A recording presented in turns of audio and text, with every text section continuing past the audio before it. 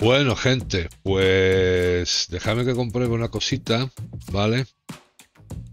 Vamos a analizar con calma las clases de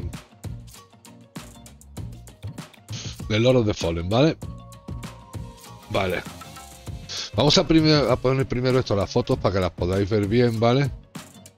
El explorador plumífero. Vale, tiene, tiene pintaca. Tiene pintaca. Me gusta. El diseño está bastante bien, tío. Vale, luego tenemos aquí al condenado. Ahora veremos las características de cada una, ¿vale? El condenado que será el de siempre, el prisionero, el paria, el que sale con menos cosas, ¿no? El cruzado oscuro, que esto tiene que ser ya tipo caballero.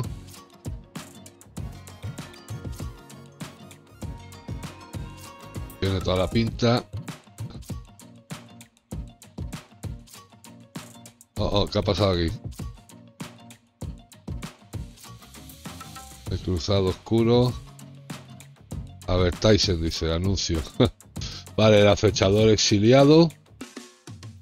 Tiene que ser tipo bandido. Alguna cosa parecía a esto. Joder, chulada, tío. Los diseños de las clases están bastante guapos, ¿eh? ¿Esto qué es el caballero sagrado? Pues será parecido al caballero oscuro, pero en la versión sagrada, supongo. Aunque ahora ya te digo, ahora veremos las... Esto es infantería de Monster. Vale. Esto que más hay Esto será, claro, el predicador de Orián. Tipo clérigo.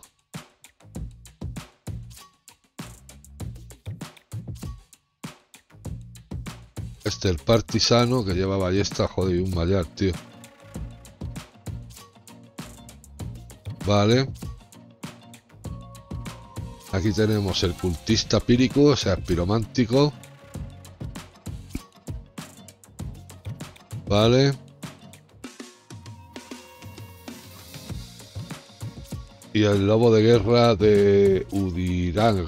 Udirang. Madre mía. ¡Ah, qué chulada, tío!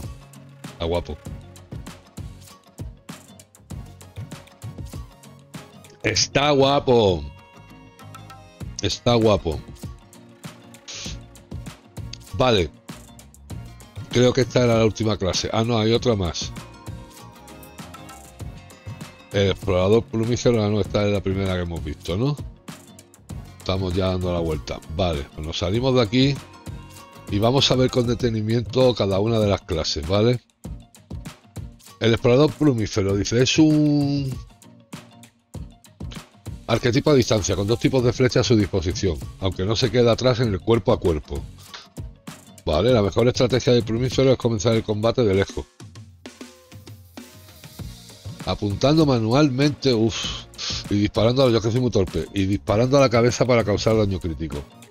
Si el explorador se ve muerto en un combate cuerpo a cuerpo, una vez que el enemigo se haya retirado, puede disparar flechas especializadas para desencadenar de buff. Anda, o daño elemental antes de volver a rematar con su hacha. Muy bien.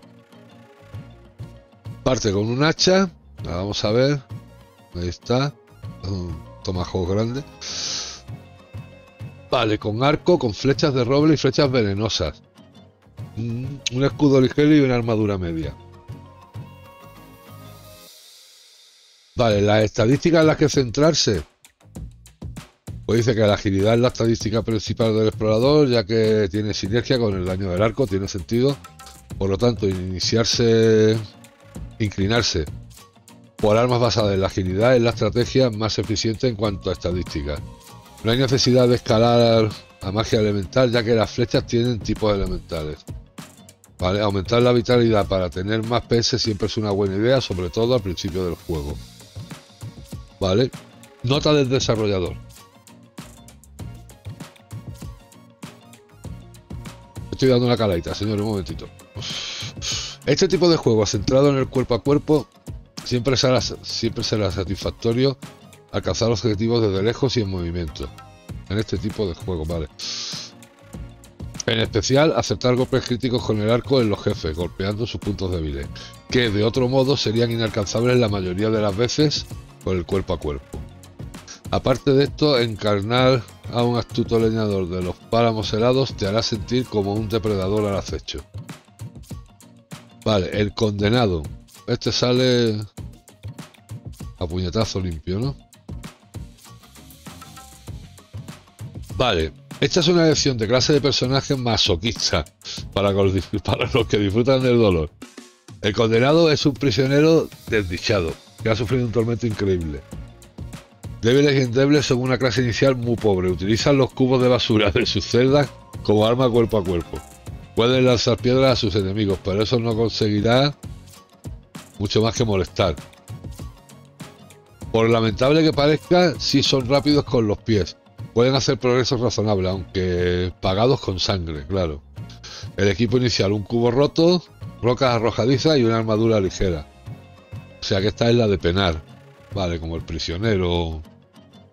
O ya sabéis, los parias y ese tipo de cosas. Vale, los condenados tienen las estadísticas más bajas del juego, lo que se convierte en una hoja en blanco para idear builds. Pueden buildearse absolutamente cualquier cosa desde el principio, ya que las subidas de nivel serán rápidas y no tendrán puntos invertidos en estadísticas que no necesiten. Sin duda se trata de una clase para expertos. A ver, luego ya vosotros en comentarios me vais diciendo, ¿vale? Eh, ¿Qué clase eh, hacéis un top 3 o un top 2 o un top 1? Me da igual. De qué clase que escogeríais y por qué y esas cosas, ¿vale? A mí esta es una que me gusta mucho, pero ya los que me conocéis ya sabéis que no soy ningún jugón, que peno mucho, que muero mucho, que soy muy torpe. Entonces yo probablemente inicie una partida con esta clase, ¿vale? Con esta clase, pero no haré directos, porque no sé qué interés puede tener. Bueno, verme jugar a mí no tiene interés ninguno, pero menos nada más que muriendo ahí como una perra con un personaje tan tan débil como este, ¿no? Pero probablemente sí que me cree una primera partida con este personaje, le haré jugando fuera de cámara eh, avanzaré un poquito a ver cómo va y tal, y luego la dejaré ya crear para cuando ya me haya pasado el juego y conozca bien y sepa muy bien qué es lo que quiero ser el mayor. Porque una de las cosas que me gusta de estos personajes es que te permiten decidir que quieres ser de mayor y no complicarte la vida en otras cosas. Pero claro, con un juego nuevo, sin conocerlo y tal y cual, puede ser muy complicado. Vale, no hay duda de que tienen unos aspectos. No hay duda de que tienen uno de los aspectos más icónicos y son perfectos para los expertos que quieran optimizar sus builds. Claro, si la idea de empezar con la peor clase y prosperar con ella para presumir te parece atractiva, entonces los condenados son tu clase. Pero la razón principal para jugar con esta clase es su ataque a dos manos. Y la patada en picado, vale. El cruzado oscuro. Este solo es exclusivo de la deluxe. Vale, que lo sepáis.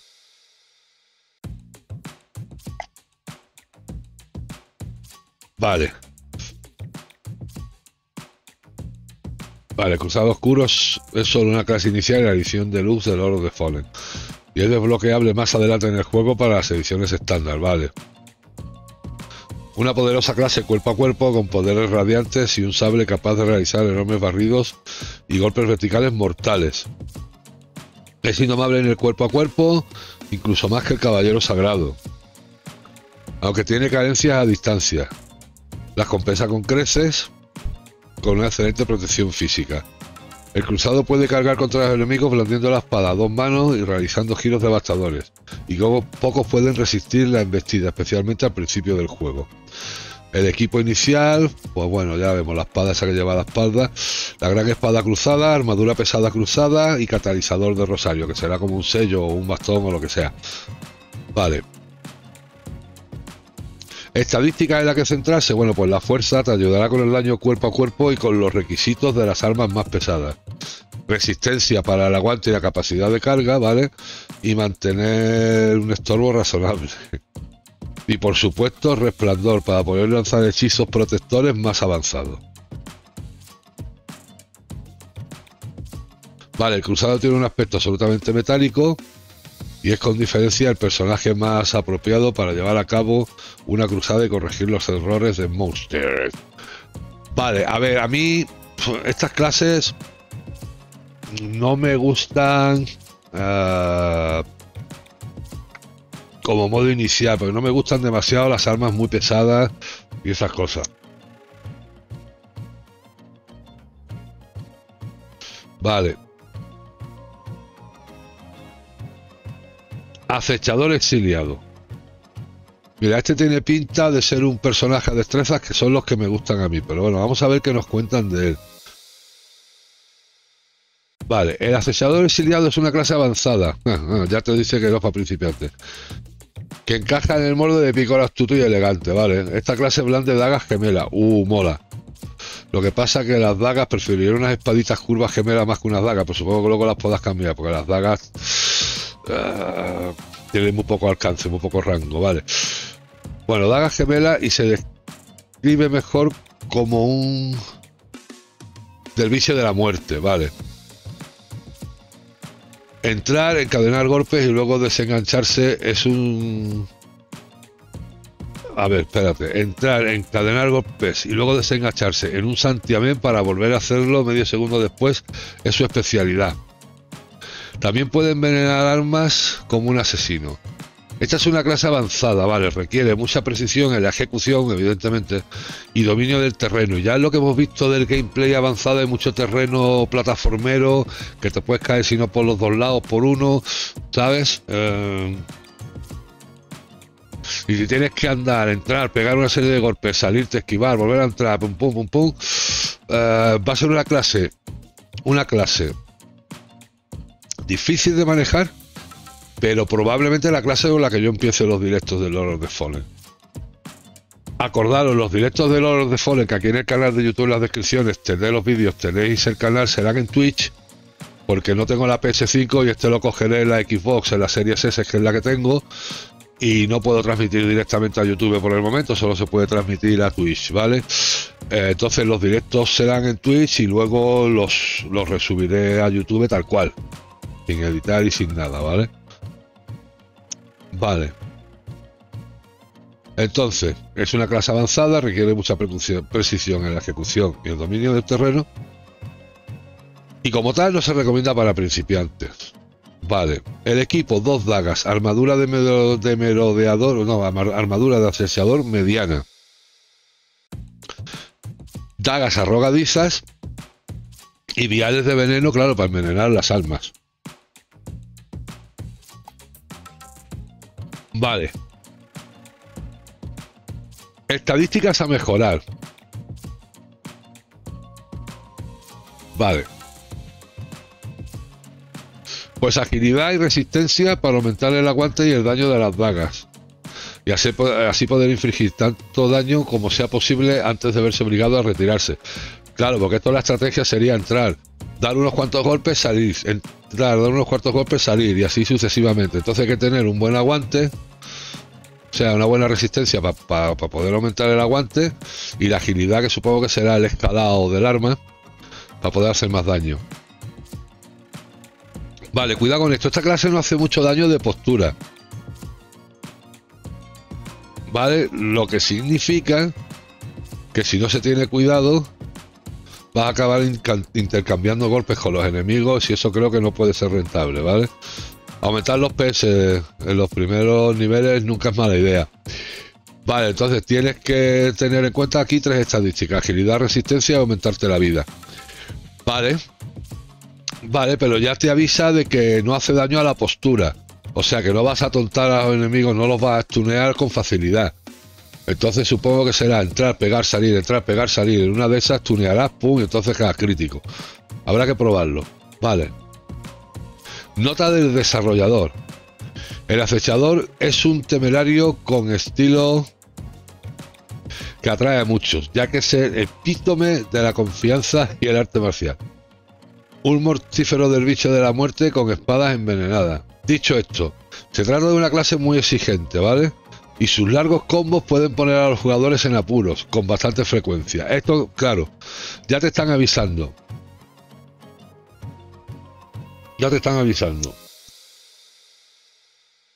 De que si te vas subiendo el aguante y tal igual, vas a poder hacer combos muy largos, pero ya te han dicho que no rompes postura, que cuesta mucho. Entonces te vas a meter en un intercambio de golpes muy cerca del enemigo además, porque con las dagas no te queda otra y, y no vas a tener mucha opción como te, como te cebes ahí con los combos largos a pegar.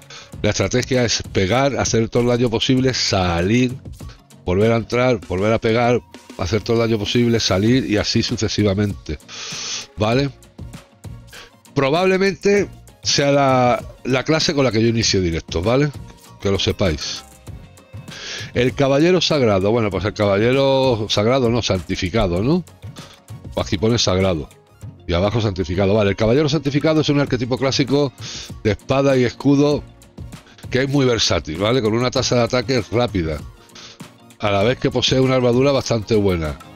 A pesar de lo pesada que parece la armadura, la clase tiene una carga media, ¿vale? Lo que se te sigue permitiendo correr, rodar decentemente, aunque con mayor consumo de estamina, evidentemente, ¿no?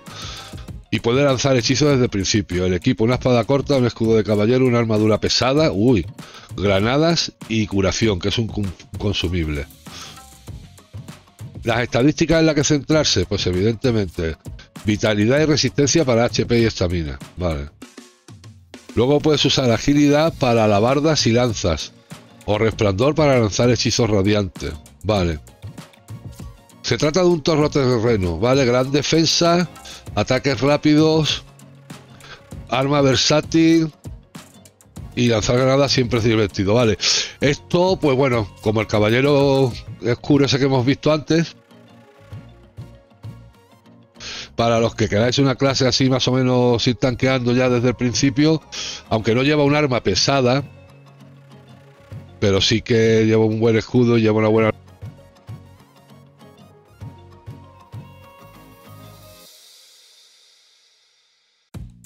Se me ha ido el micro, gente. perdonadme, voy a verificar una cosa. Vale. Pues eso, entonces, a pesar de que no tiene una espada pesada, pero bueno, vaya, vaya con carga media y bueno, puede ser un tanquecito.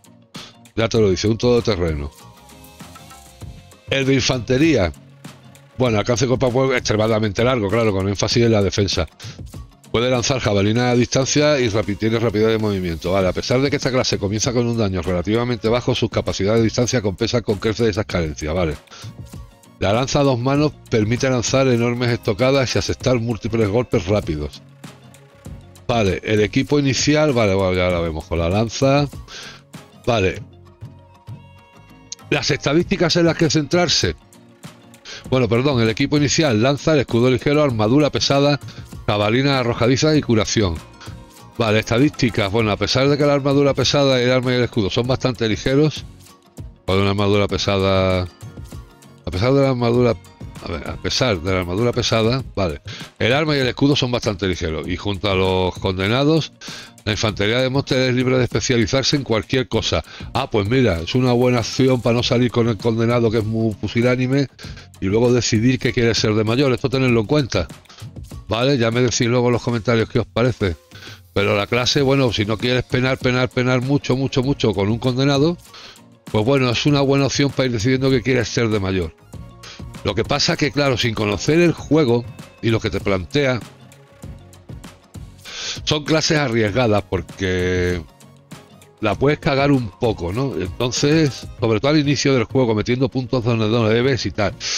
Entonces, entonces, yo creo que voy a salir con la que os he comentado antes, ¿vale? Con.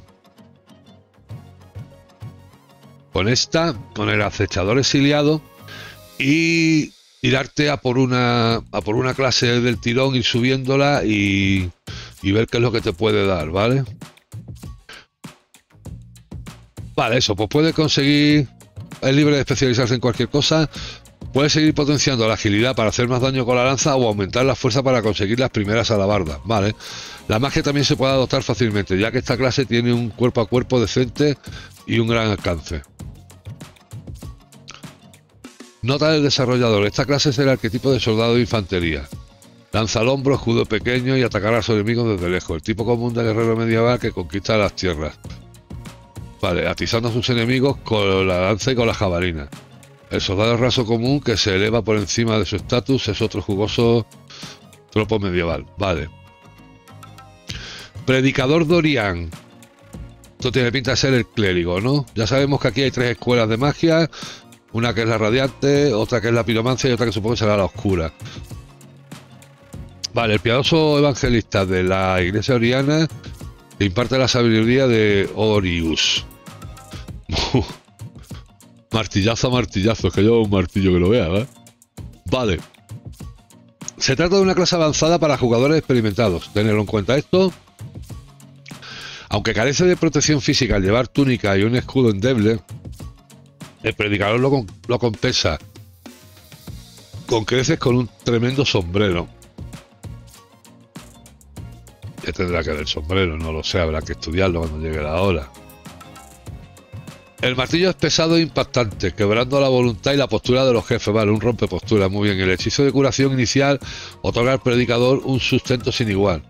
Solo su fe ayudará a superar las pruebas y tribulaciones. Equipo inicial, martillo, escudo ligero, catalizador radiante, hechizo de curación, que no te pone como otras curaciones que hemos visto antes, que sea un consumible.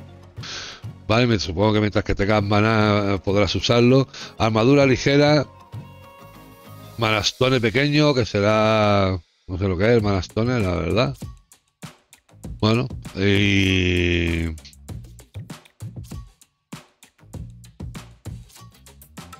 Ah, es un consumible. Vale.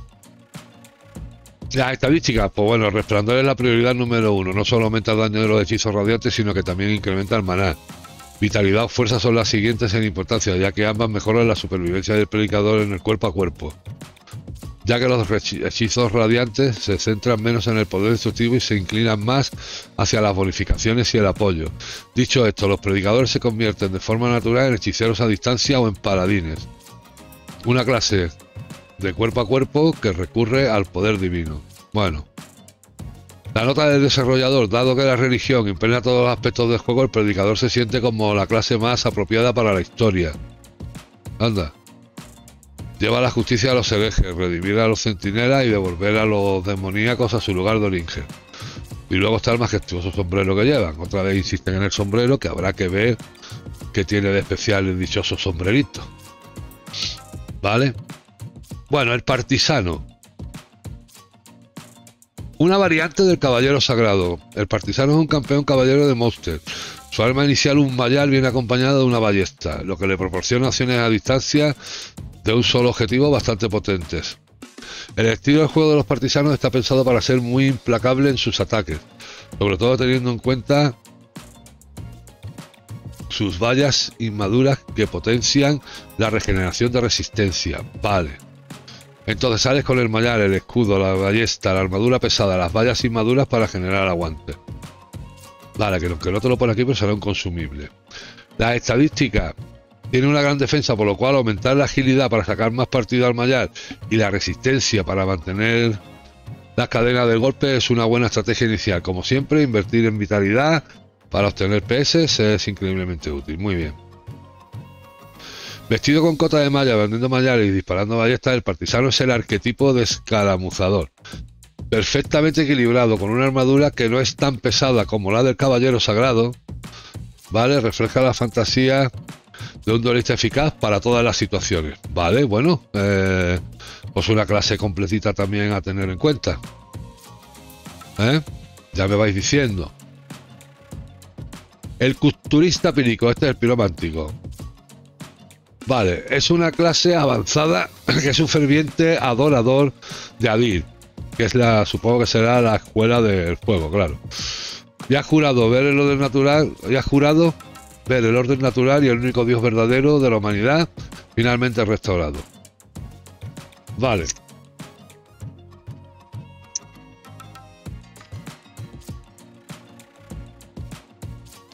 Vale, es un mago que blande hechizos pirománticos y ataca a los enemigos desde lejos con un proyectil de fuego muy eficaz.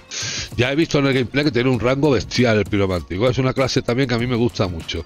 También hace buen uso del bastón pesado que tiene a su disposición cuando los enemigos sobreviven a la descarga de fuego y se acercan. El bastón es especialmente eficaz contra grupos de enemigos, mientras que su magia de fuego inicial es potente contra objetivos individuales. Esto puede, uy, esto puede parecer excepcionalmente fuerte, pero ten cuidado en la zona, vale, pero ten cuidado. En la zona inicial hay enemigos Rogar y los hechizos de fuego no son especialmente eficaces contra ellos. Vale, pero si te los puedes llevar a bastonazo, mmm, pues qué más da, ¿no? Pues ya me vais diciendo vosotros qué opináis, gente. El equipo inicial, el bastón de cultista, el catalizador, hechizo de orbe infernal, armadura media, el bastón de pequeño consumible, vale. Estadísticas, vale. Infernal es su estadística más importante, vale. Ya comenta el daño de hechizo y el maná. Su armadura es bastante razonable, lo que les hace bastante resistentes al daño físico. Por lo tanto, invertir en resistencia para mantener un nivel alto de aguante y seguir lanzando hechizos y esquivando el daño es una buena primera opción. Como alternativa, pueden invertir mucho en fuerza para empuñar a devastadoras armas rogas, que tienen unos requisitos y estadísticas de peso elevados. Vale. Vale. Bueno, ya sabremos que en cuanto salga el juego empezarán a aparecer las primeras muy locas. Pero a mí normalmente en mi primera partida me gusta ventilármelas yo y investigármelas yo, ¿vale? La nota del desarrollador con sus máscaras hechas de piel humana, estos pirománticos son los antipredicadores, por así decirlo. Cultistas humanos que anhelan el respeto de Adid, difundiendo sus pestilentes enseñanzas en las comunidades humanas e inmolando a la oposición, o sea, inquisidores. Aquí se va quemando a todo el que no esté de acuerdo. Además de ser agentes del caos de la destrucción, también se interesan con el derramamiento de sangre, recogiendo manos y utilizándolas como catalizadores. se trata de una clase muy loros de Zonen, ya que abrazar el poder sin límite que ejercen los Rogas es muy satisfactorio y condenatorio. Vale, lobo de guerra. Ah, qué chulada de armadura. Este lleva un espadón que lo flipan, ¿no? Clase totalmente ofensiva que se encuentra, que se centra, perdón, en poderosos golpes cuerpo a cuerpo que pueden hacer tambalearse a los enemigos, sin dejar de ser rápida sobre sus pies. Ah, vale. Desde el principio, esta clase puede prender fuego a sus armas con sales de fuego y blandirla como un loco. Ah, muy bien.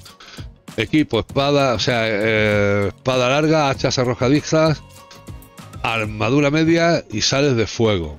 Vale, que las sales serán para imbuir el arma a mejorar la fuerza para aumentar el daño cuerpo a cuerpo y mantener el ritmo con la afluencia de las jugosas armas que escalan con fuerza y los altos requisitos de fuerza, vale. Nivelar vitalidad en lugar de salud siempre es recomendable, especialmente al principio del juego. Ah, o sea que será nivelar el aguante, claro. El lobo de guerra, a ver, nota de desarrollador, el lobo de guerra es el arquetipo bárbaro, un berserker vestido con pieles, sin escudo, con ataques devastadores y hachas muy útiles para lanzar. Esta clase cumple la fantasía del cañón de cristal. Mucho daño, poca vida. Mm. Con un poco de magia de resplandor o infernal puedes aprender gritos de guerra potenciadores para profundizar aún más en la fantasía. Vale, bueno, pues gente. Dejadme en los comentarios cuál sería vuestro top 3 o vuestro top 2 o solo vuestro top 1. ¿Con qué clase iniciaríais? ¿Por qué? ¿Vale? Y ya me vais diciendo. Eh, ¿Qué iniciaríais? ¿Con el plumífero? ¿Con el condenado? el Caballero Oscuro si tenéis la. El Cruzado Oscuro si tenéis la Deluxe, aunque se puede bloquear luego. Yo creo que el acechador va a ser la primera clase con la que inicie directo y si veo que. que peno mucho, pues empiezo otra partida o con el piromántico o con el lobo, ¿vale? ¿Vosotros qué os parece el caballero sagrado? El de infantería. Que el de infantería ya hemos visto que es una clase que que te puede permitir decidir que quieres ser de mayor. Lo que pasa es que sin conocer el juego, sin conocer bien las zonas, ah, yo ya te digo, soy partidario más de coger una clase y apostar por ella y ver cómo me va. Y ya luego veremos si hay que empezar una partida nueva, por lo que sea, pues empieza. ¿Vale?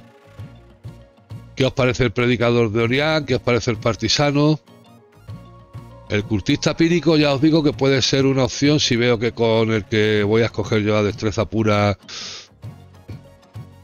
se me hace demasiado cuesta arriba. Esta podría ser una opción para mí y esta podría ser otra. Pues muy bien, gente. Ya me decís vosotros qué es lo que pensáis en los comentarios y vamos hablando. Adiós.